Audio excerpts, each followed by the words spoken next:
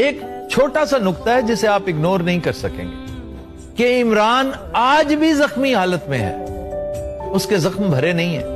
मैं जाती तौर पे जानता हूँ। मेरे सामने कई दफ़ा पट्टी चेंज हुई है।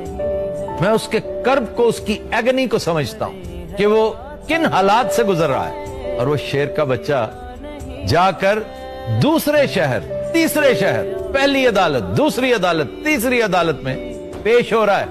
यह है एहतराम। ये है रिस्पेक्ट कानून की आइन की और हमारे कुछ दोस्त जाली मेडिकल सर्टिफिकेट बनाकर कहाँ बैठे गुलछरे उड़ा रहे है।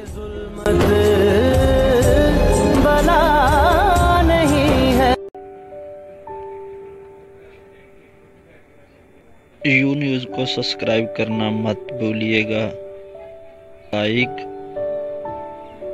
and share. And comment में अपनी राय का इजहार ज़रूर कीजिएगा।